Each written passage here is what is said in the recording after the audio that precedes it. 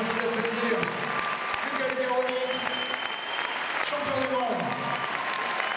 and gentlemen, please, applause for David Crowley.